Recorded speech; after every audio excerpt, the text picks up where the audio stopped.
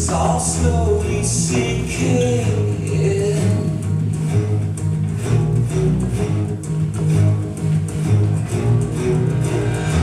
I left behind